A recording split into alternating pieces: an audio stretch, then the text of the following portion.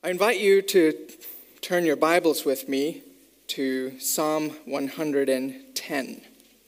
Psalm 110. I'm often asked when people find out that I'm, I'm studying the Bible, um, what's my favorite passage of the Bible? And I usually say all of it, because I can't pick one. Uh, but it's not any less godly to pick one, right? Or to, to pick a few.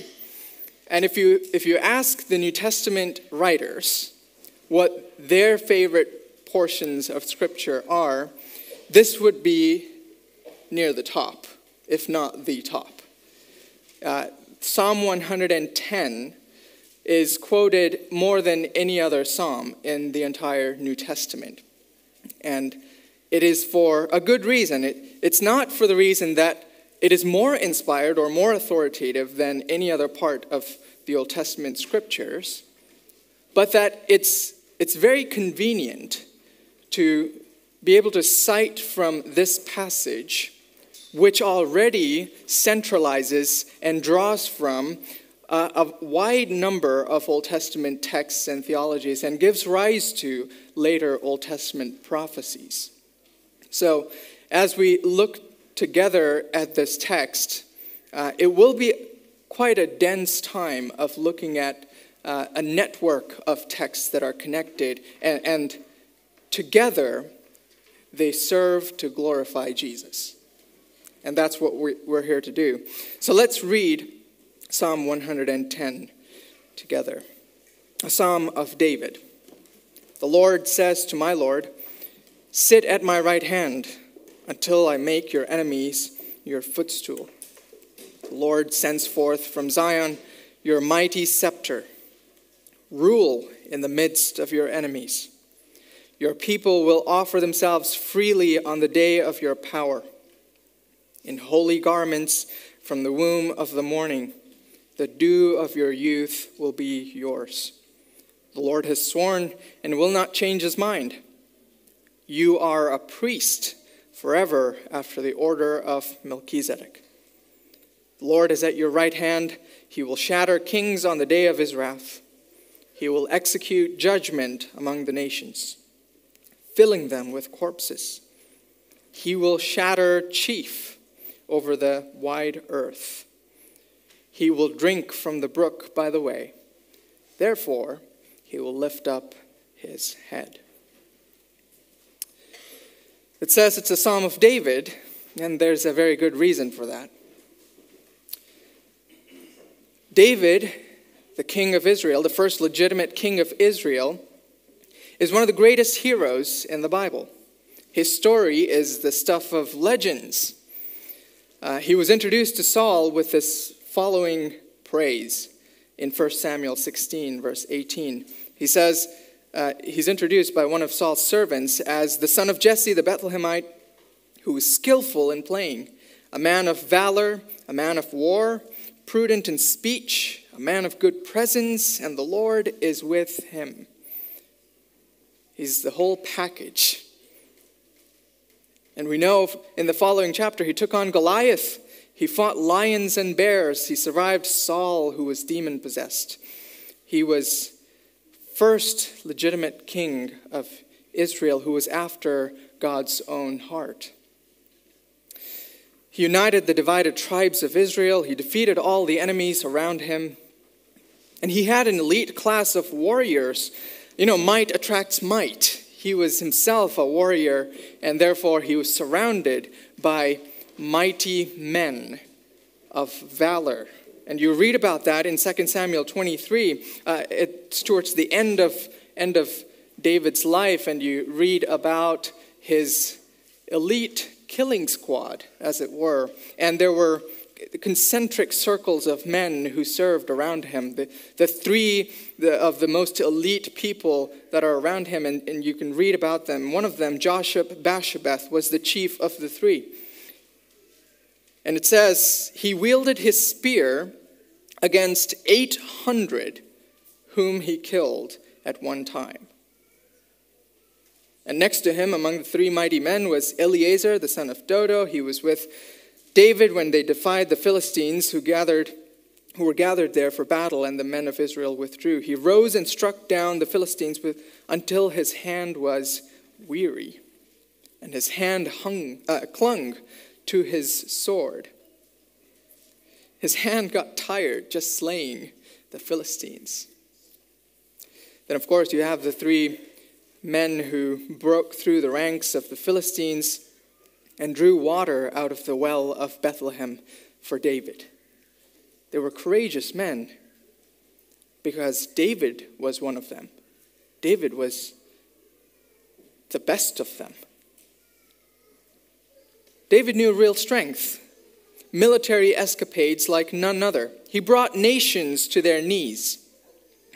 He had every worldly reason to dwell on his strength and greatness and trust in the sheer power of his secret service, service as it were, or the MI6. I don't, I don't know what the equivalent is.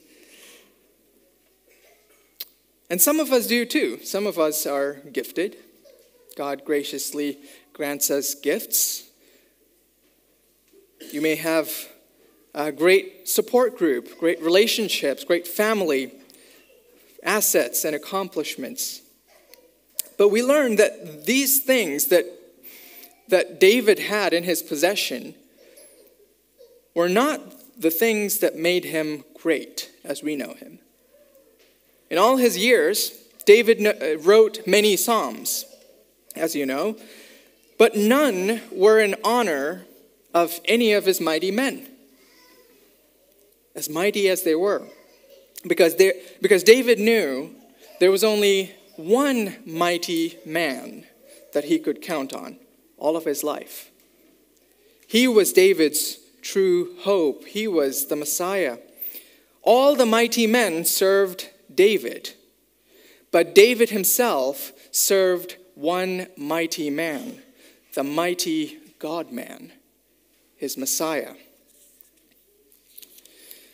You see, David was not great because he did great things, but because he, he knew great things about the Messiah.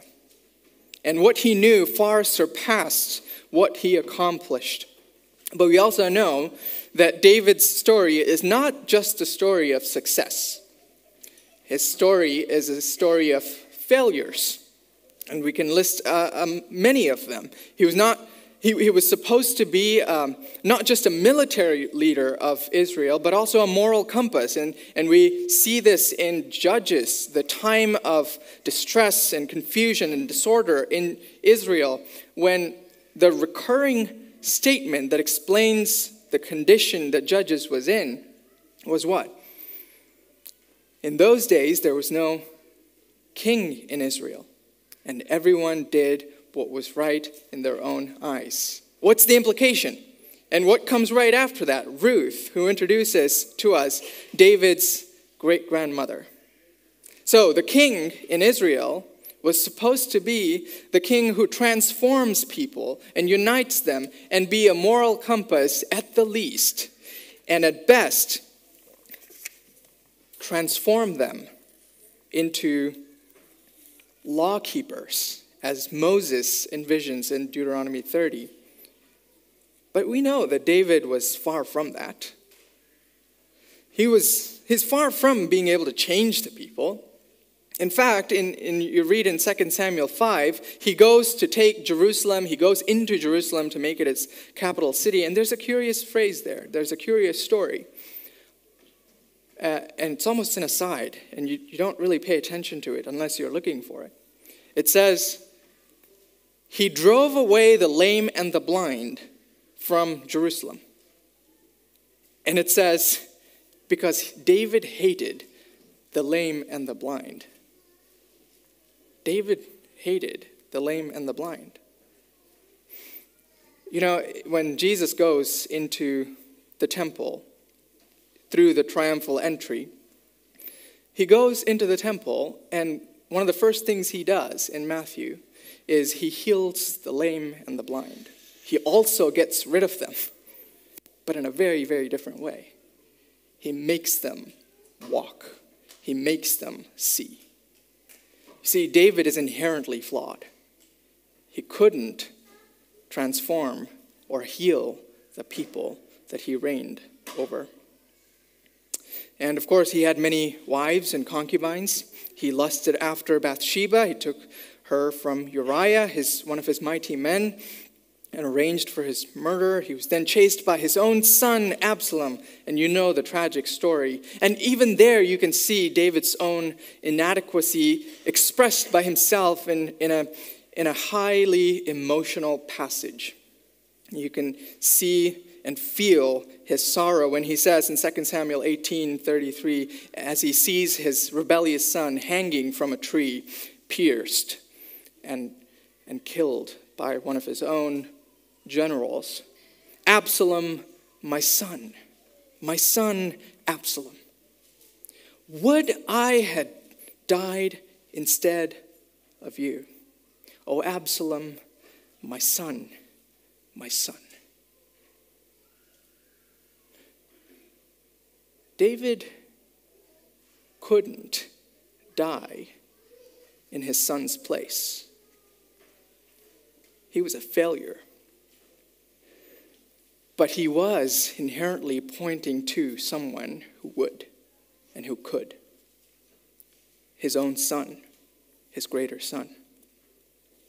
And even in the end, when he was tempted by Satan to rely on his strength and take census of his of his people, he was the reason that many Israelites died. Instead of being a savior, he kills his own people. This is a, a story of failures.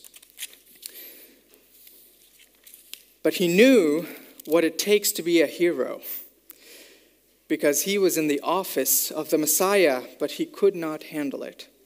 He needed someone who, who was all that he could not be and needed someone who did or could do all that he could not do.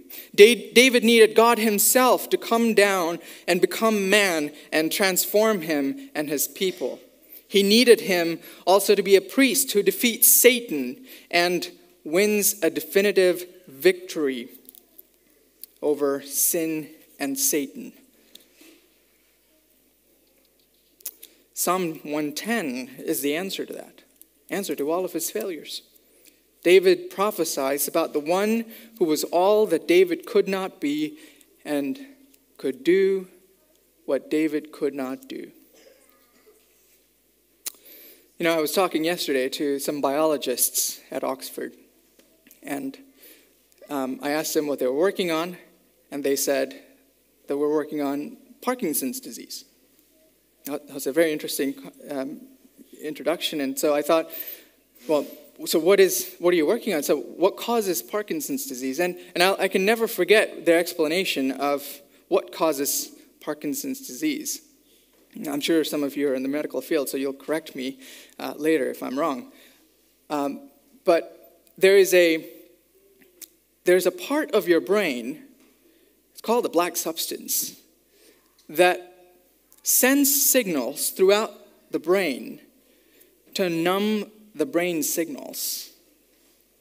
And, and the reason is that your brain is constantly sending uh, neural uh, signals through the nerves to move uncontrollably. And, and it, it's, a, it's a reflex uh, nerve signal that makes you, if it's uninhabited, shake uncontrollably and involuntarily.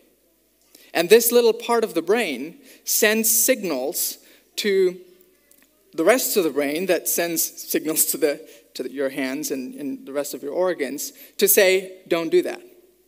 Don't do that. Don't do that. And, and apparently, that part of the brain is, is dying in all of us. And it's just that those with Parkinson's that part of the brain is dying faster. So the, the analogy is that it's, it's of, a, of a race car ready to go. You've got the throttle down, but the brain has brakes on.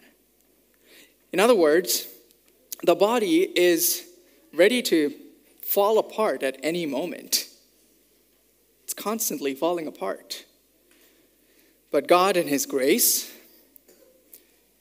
or- orchestrated this mechanism to keep us peaceful and in control and not convulse involuntarily all the time with tremors. You know, if we were in David's position and you could read some of his Psalms of depression and looking at his failures, you have to wonder why, why he couldn't, why he wouldn't just fall apart. And he expresses that kind of sentiment in his Psalms. There is something that kept him and held him together. And it's expressed in Psalms like this. And you can see that in Psalm 22 when he thinks of his Savior dying for him. Psalm 16 when he talks about his Holy One who will not see corruption. And it's Psalm 110 that keeps him together from falling apart. And you want to know what you, how you can go through life without constantly falling apart? It's to know David's Savior. And that's what we, we're going to see in this psalm. And that's, that's the Psalm of David. That's the significance of the Psalm of David. This vision of the Messiah is an anchor to David's soul. It wasn't just fanciful thinking, but a faith enhancing expectation. This was David's bread and butter. And um, I'm going to give you what David knew about the Messiah and considered everything to be loss for the sake of knowing, for the, for the surpassing worth of knowing Christ Jesus, his Lord. And I, I'd propose there are six things in this psalm that David knew about his Messiah that, that were an anchor to his soul, that kept his heart quiet, that, that kept his soul calm even in his failures. David knew that the Messiah had to be God. That the Messiah had to be God. That's verse 1. Let's read it. The, the Lord says to my Lord, Sit at my right hand until I make your enemies your footstool. The text actually says, the oracle of Yahweh to my Lord. Uh, you can see the capitalization of the Lord, and I'm sure you know when you see the cap, all caps, the Lord appearing in all caps, it's, the Hebrew is saying Yahweh. So this is unquestionably God, the God of Israel, talking to another figure that's not David, David's Lord. And it says, it's, the, it's an oracle of Yahweh to my Lord. This is prophetic language. From the beginning, David wants you to know that he's prophesying about the future of the Messiah. Psalm 110 anticipates this eschatological fulfillment of all the things that David was promised in 2 Samuel 7 and in, his, in the rest of his life in his communion with God. And so David calls him my Lord. Yahweh said to my Lord. And you have to stop there and think who can be distinct from Yahweh, but at the same time higher in authority than the king of Israel? Who? There's only God. And of course, he says, It's my, it's my Lord. So it's a, it's a distinct person in the heavenly sanctuary, and David is, is uh, hearing this conversation between these two people. Sitting at the right hand of Yahweh signifies an exceptional degree of intimacy between God and David's Lord. In essence, Yahweh is inviting this Lord, and I would say he's the Messiah. We know this from the New Testament, that even Jesus talks about this in Matthew and other places, that this is the Messiah that God is talking to, and he's inviting the Messiah to sit at the right hand of his glory. Such intimacy was unheard of between human kings and Yahweh. Uh, for example, in 1 Kings 22, you, can, uh, you might remember the prophet Micaiah has a vision to see what goes on in the heavenly sanctuary. And he sees this in 1 Kings 22, verse 19. He says, I saw the Lord sitting on his throne. Notice there's only one sitting on his throne, and all of the hosts of heaven standing beside him on the right hand and on the left. So when Yahweh assumes, and this is consistent throughout the heavenly visions that you see in both Old and New Testaments, where there's only one throne in heavenly sanctuary. No one dares to sit when, when Yahweh sits. The heavenly hosts, the holy angels, they're all standing ready to do his bidding. And in the earthly tabernacle and the temple, as we read in Hebrews 8, which is a copy of the things in heaven, that Moses wrote down. Only the high priest could enter into this earthly tabernacle that represents the heavenly, and that too only once, fearful for his own life because he himself was a sinner. In 1 Samuel 5, you know the, the story of the Philistines. When, when Israel gets defeated by the Philistines, Israel thinks, you know, we can use the Ark of the the covenant as a, a sort of a, um, a charm, a lucky charm to win against the Philistines. But they lose. So the Philistines capture the ark, and the Philistines think, well, we've, we've got the Lord, we've got Yahweh in our hands. So they take the, take the ark into the temple of Dagon, who's the god that they serve, who's an idol, and they place the ark next to Dagon. And you remember what happens. The next day they go in, and Dagon has fallen on his face before the tabernacle, before the, the Ark of the Covenant. Because the truth is this when the, when the God of the universe is in his sanctuary, no one can sit next to him. The only proper response of even a, fa- of a false God, of, of anyone else in the presence of God is to bow down. And as you know, uh, this happens. They, they erect him again, and then he gets his head and hands cut off before the ark. So no one dares to sit in the place of God next to God. And later in 1 Samuel 6, you see the Philistines return the ark and, and they say in 1 Samuel 6:20, who is able to stand before the Lord, this holy God, and to whom shall he go up away from us? They're even afraid to stand in front of him. And to this and this God, David says, is saying to his Lord, Sit at my right hand. Here we have a king who has full and uninterrupted access not only access, but equality with God. He's the priest of priests, the king of kings, and the lord of lords. He is God. And, and just uh, as, a, as another a side note, there's only one throne, by the way. There's no picture of another throne being placed for this character.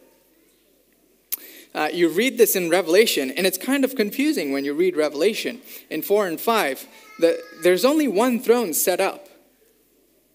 And you, and you can see and read John referring to this throne, and there are two people sitting on the same throne the Lamb and God. And you have to wonder the mystery behind it. There's only one throne, but two people are sitting and sharing in the authority and the reign and the essence of God. You see, this was the hope of Job. He hoped for someone, an arbitrator, who could lay one hand upon God and one hand upon man. And only God can lay a hand upon God. No man is able to do that. Human priests show that they can mediate God's presence, but only God can ultimately put his hand upon God. Already, this verse expects and anticipates the priestly role of the Messiah, not just that he's God, but that he is a priest, the priest of priests, because priests have access into the Holy of Holies. But no priest ever dares to sit in the presence of God. There's no one like him, no priest, no angel, no king, no man, and no God, only David's Lord, the Messiah. He's like no one else. He's God, he's man, he's priest, and he sits at the right hand of Yahweh. And the word footstool, he says, until I make your enemies your footstool. There's so much evidence in this text and the rest of the Old Testament of the, of the deity of the Messiah. And I know this, uh, it's been questioned recently, even in some of our circles, um, when they talk about some of us, some of the people that have left have talked about the, the Old Testament as only envisioning the Messiah as a human figure. But that's definitely not the case. And if you can see that even in the, in the reference to the footstool, if you just took, do a little search on stepbible.org, it's in English, and click on footstool, and it appears six times. Go through every verse. Every verse is talking that, that mentions the footstool in the Old Testament. Is talking about the footstool of Yahweh.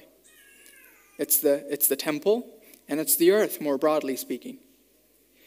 Now you come here and he says, I'll make your enemies your footstool.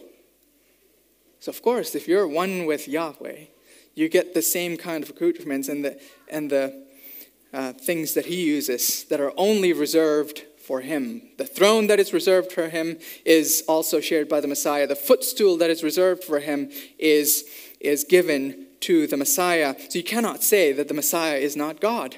In fact, even Psalm 111 and 12 uh, buttress the fact that the Messiah is God.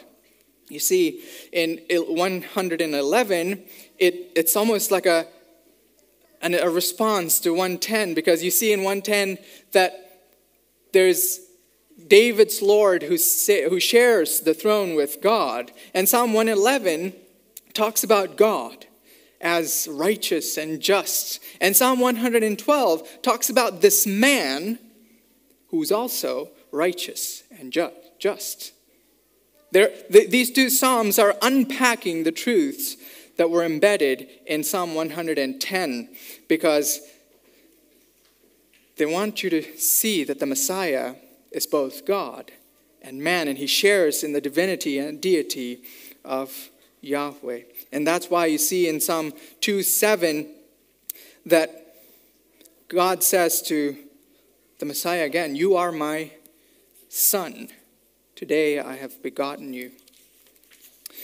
David knew and hoped for not just that, you know, David, this is David's son. We talked about the Davidic covenant, and this is the promised son, David's son, son of David uh, and that he's the Son of God because he shares in divinity. But David knew a little bit more than that in this, in this text. Until I make your enemies your footstool. That, that language of enemies and making, that, that combination appears the first time in Genesis, in Genesis 3, when God is talking to the serpent and he says, I will put enmity between you and your seed and, the woman's seed.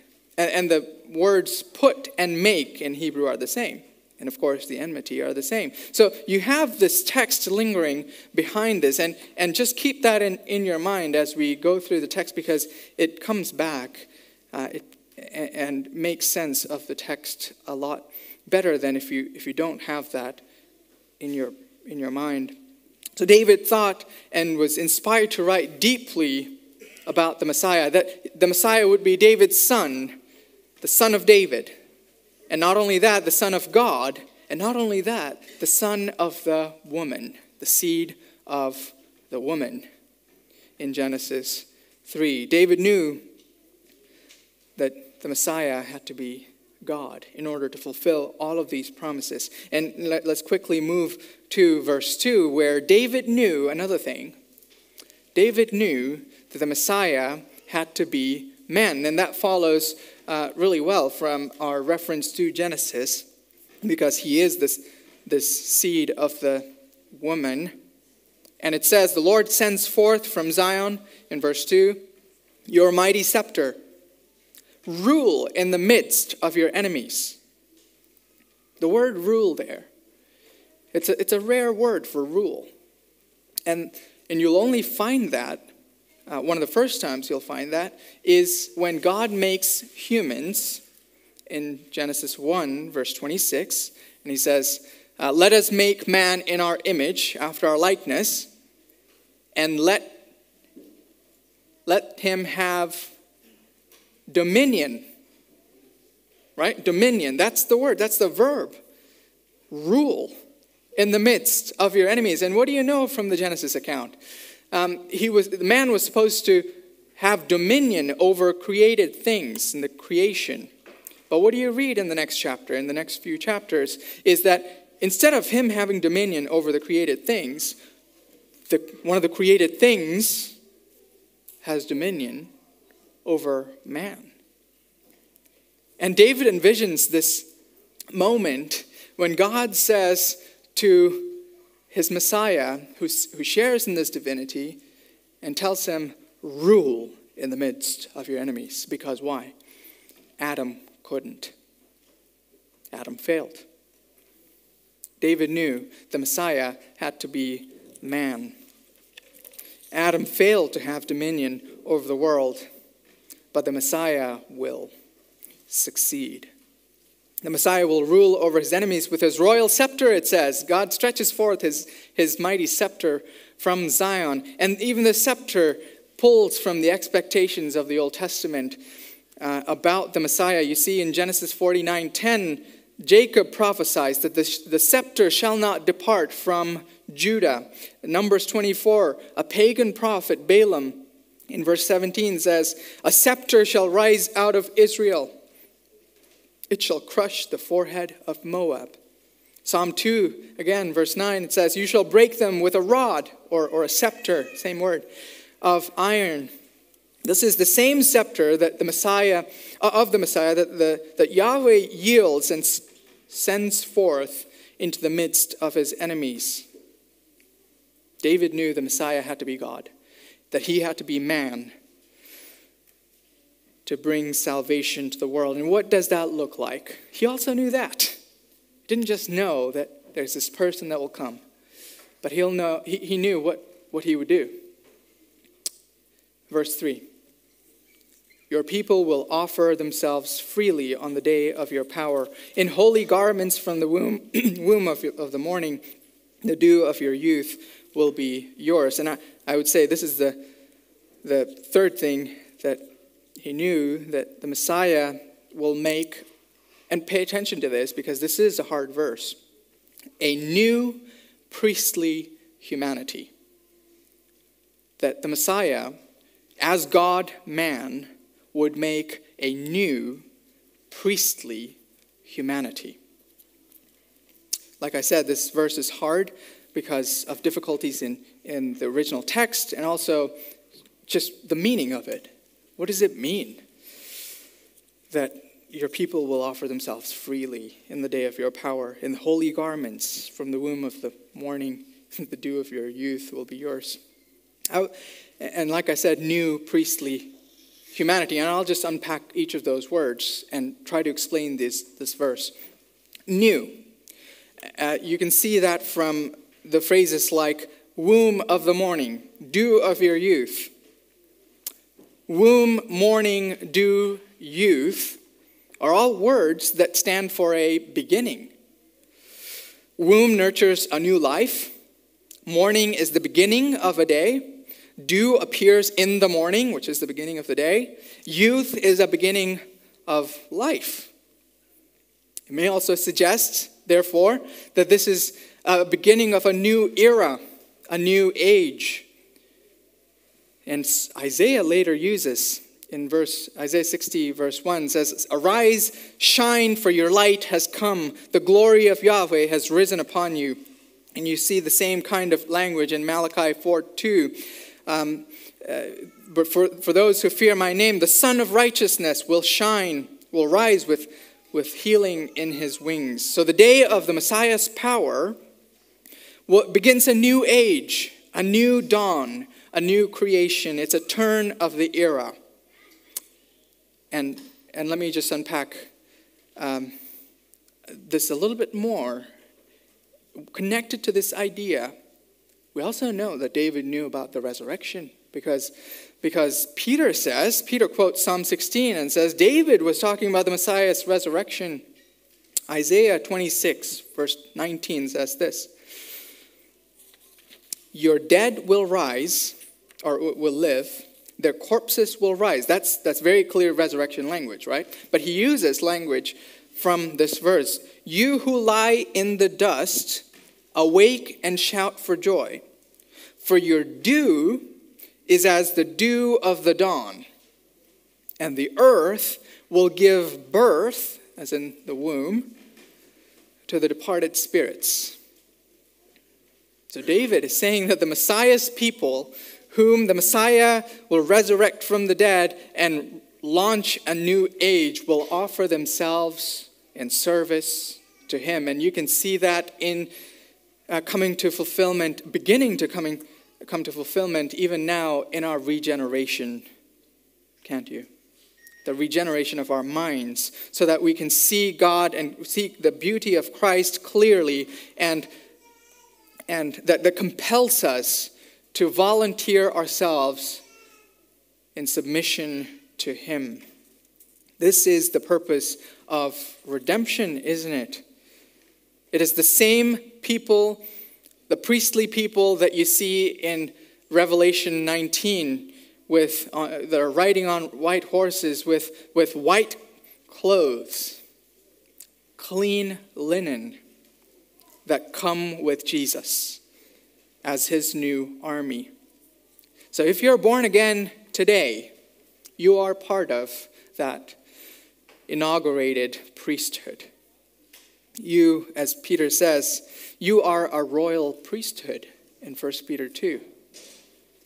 You'll gather around the throne of the Messiah as a priest of God with full access to him. And, and I also said new priestly humanity. Where do I get the priestly from? Pay attention to the words uh, holy garments. Again, if you do a little bit of search on that, every time you, you t- the Old Testament talks about the holy garments, these are the garments that priests wear. These are priestly garments that are only limited to the Levites. But here we have the Messiah's people, everyone who's part of the Messiah's people, wearing these holy garments. Again, the, the picture from Revelation comes to mind. This is the doctrine that the New Testament develops of the priesthood of all believers. Every believer is a priest in the Messiah. Because, as, as Hebrews says, the Messiah has gone into the heavenly sanctuary. Therefore, we can draw near to the throne of grace as any priest could in the Old Testament. And what do priests do? They worship. And what are they doing here? Again, another point of, of the Messiah's deity. What do you have when the Messiah has this new priestly humanity? Priests serve and worship God. And what are they doing here? They're worshiping Jesus. It's right to worship Jesus because he's God. And they do so freely. This is true power and true influence, something that David could only imagine. Have you experienced that? Do you feel compelled by the attraction of the Lord Jesus Christ that you could not but freely come and volunteer yourself to his service?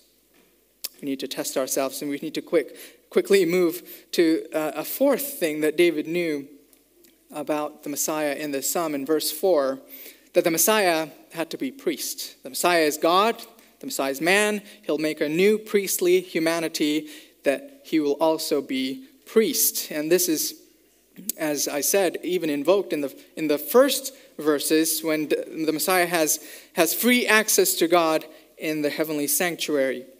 And so the Lord has sworn, sworn, and will not change his mind. You are a priest forever after the order of Melchizedek.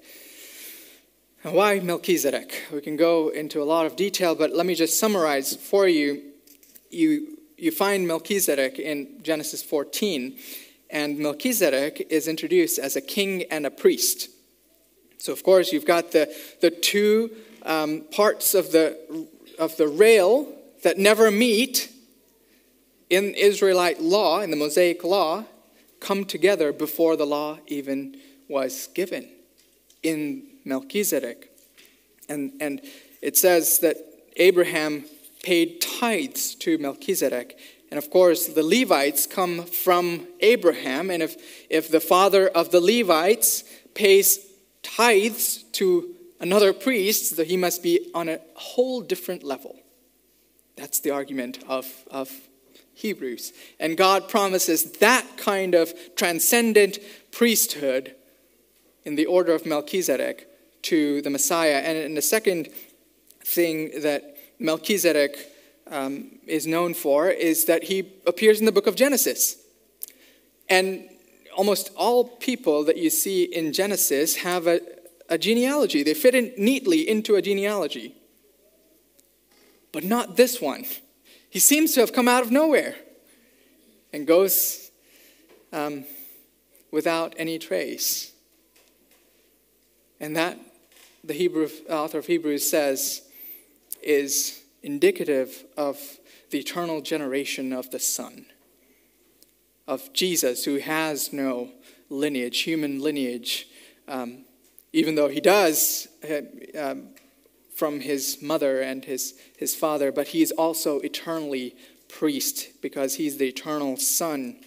The implication is that, um, I'm sorry, the third one is that Melchizedek is the king of Salem. So, Melchizedek is the priest king. He appears without any genealogy in the book of genealogies. And third, he's the king of Salem. Jerusalem becomes a very important city in God's redemptive history. Uh, redemption of humanity takes place in Jerusalem, and whoever can capture Jerusalem gets to be the Messiah, the real Messiah. And, and what David does is prepare the way for that and in he, but, but in verse 4, it actually says more, right? You will be priests for, in the order of Melchizedek. And don't miss this word forever. Forever in the order of Melchizedek. That's shocking because no priest in the Old Testament was a priest forever. Because priests are human and priests die. But God promises he swears to the Messiah that you will be a priest in the order of Melchizedek forever. Somehow, he's immune to the life shortening effects of death. He has the power of the resurrection. You can already see that in the previous verse. He, he raises people, he, he begins a new age of resurrection, and of course, he himself has the power to be resurrected. The Messiah brings together king, kingship and priesthood just as he brings together God and man and himself to reconcile the world to God. So at this moment in heaven, if you're eyes of faith see Jesus at the right hand of God, you will see him interceding for you as priest in the order of Melchizedek. And I, I have to invoke Charles Spurgeon here, who beautifully summarizes uh, Jesus' priestly ministry. He says, The interceding priest has laid aside his blood-stained garments and put on his robes of holiness for glory and for beauty, jeweled breast, breastplate ephod of gold and purple and, and blue and scarlet, mitre and fine linen and gold, and girdle of needlework the high priest wore on favored days. Our Lord is higher than the highest, and yet he stoops as low as the lowest. He's kingly even to deity, and yet so truly a priest that in all of our afflictions he's afflicted. He's not ashamed to call us brethren ruler of our race, he's yet partaker of our flesh and blood. He's acquainted with all of our sorrows, true king and true priest. David knew awesome things about the Messiah. But not just this, that he, he focused not just that the Messiah will be priest, to intercede for his people, for, for sure, that's what's going on now. But priests also have an important job, which is to to distinguish between good and evil and to pronounce judgment upon it in order to prepare ground for a holy God to dwell with his people. That's the main job of a priest to mediate God's presence and prepare the ground for, for God's presence to dwell on this earth. And you can see that David also has this in mind in the next few verses. David knew the fifth thing in verse 5, 5 and 6, that the Messiah will defeat Satan. Lord is at your right hand, it says, verse 5. He will shatter kings on the day of his wrath. What's going on? Uh, the right hand, that should, that should remind you of the first verse, right? Yahweh said to my Lord, Sit at my right hand. But here, this reference seems to be switched. It seems that the, the Lord, God, is at the right hand of, of the Messiah. And a lot of people are confused about this, and I think you should be. You know, in John, Jesus says, My Father and I are one. When the Messiah acts, God is acting. And he says, when, when my Father is working, and so am I. And you can see the same kind of uh, ambiguity about the working of, who, of who's working, even in the New Testament, especially in Revelation. So you, you have God working, and the Messiah is working. And what are they doing? Working in verse 6. He will execute judgment among the nations, filling them with corpses. He will shatter chiefs over the wide earth. So you've got the kings shattered, and that's how this priest prepares the way for God to dwell upon this earth. And interestingly, he fills the earth with corpses. And if you know anything about priests in the Old Testament, one of the things that renders priests unclean is coming in contact with dead bodies. This priest in his mission to cleanse the earth, for God to dwell upon the earth, defiles the earth because the earth needs a deep clean. You learn this from Ezekiel. And he shatters the kings so widely and so deeply that it takes Israel, Ezekiel says, seven months to clean up the mess. And I say David knew that the Messiah would defeat Satan. I think if you're following in, in the ESV, it says he will shatter chiefs. But Hebrew says, the Hebrew behind it, it says he will shatter the head over the wide earth. It's very clear. In fact, the LSB, the new translation, renders it that way the, the head. I, I told you to keep a text in mind, didn't I? I'll put enmity between you, uh, your seed, and, and the woman's seed. He will crush your head. The Son of God, the Son of David, the seed of the woman will defeat Satan. That's what David knew. You know, David knew what it meant to fight Satan. When he fought Goliath, Goliath is described as this man who's covered in bronze. You have to wonder why. Because in, in the Hebrew, the, the word for bronze is, it, it sounds very close to serpent. Serpent. So David knew what it means to fight an agent of Satan, at the least. And David knew he couldn't do it. He couldn't actually slay Satan, the ancient dragon. He knew there's only one who will actually shatter the head of the serpent. Every man comes short when compared to this God man, priest king, who is David's son in his fight against Satan. And of course, you think, job done, right? We can all go home. But the psalm has another verse. It says this He will drink from the brook by the way, therefore, he'll lift up his head. What is this doing here? It's almost like, okay, let me end with the shattering of the head, right? You've got, you've got the end of, of redemptive history. Let's go to heaven.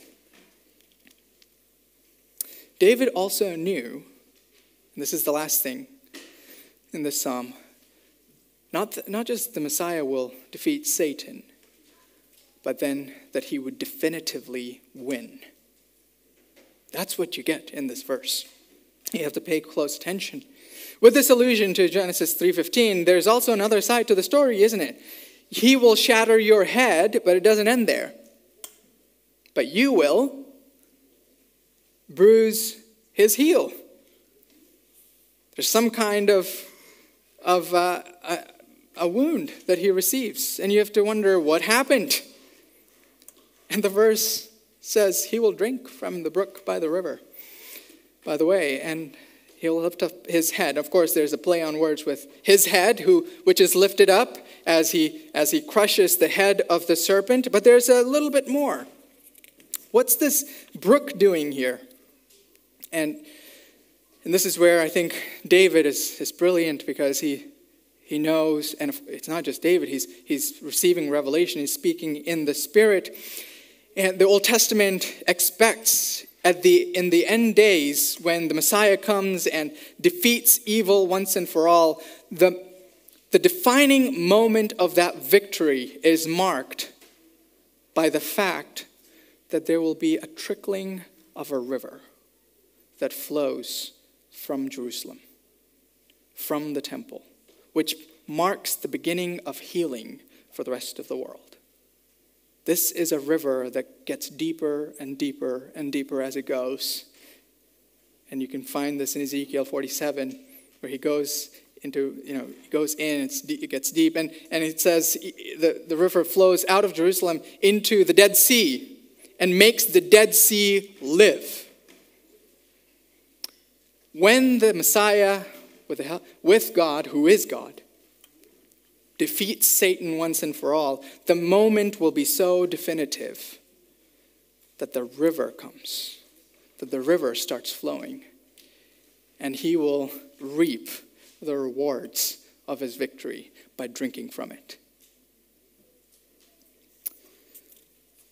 As priest king, he will wipe all unholiness, unclean, uh, all of the filth of this earth with his victory by winning a definitive and decisive victory over sin and Satan. You know, David knew all of these amazing things, and he put all of his eggs in one basket. We're given investment advice. That's not a good investment advice, is it? To put all your eggs in one basket. But it is in this case. May we put all of our hopes and expectations and, and trust and confidence in this Savior who does it all. David knew that the Messiah is divine, so he can save him. That the Messiah is man, so he can be no, who no man has ever been. David knew that the Messiah will create a new humanity so that he will truly redeem his people. David knew that the Messiah will defeat Satan, only he has the ability to do so. David knew that the Messiah will banish evil once and for all, so that he will establish a new reality where there will be no longer sin, Satan, enemies, or barriers from fellowship with God. That is what anchored his soul, and that's what calmed his spirit and may that calm ours. Today, as we dwell upon the sacrifice that this Messiah made just prior to the invitation for him to sit at the right hand of God. Let's pray.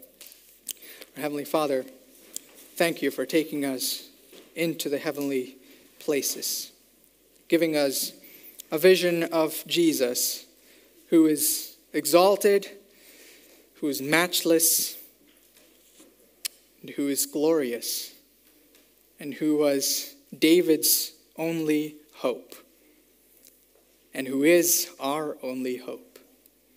May we dwell upon him. May we May we rejoice in him. May we trust in him.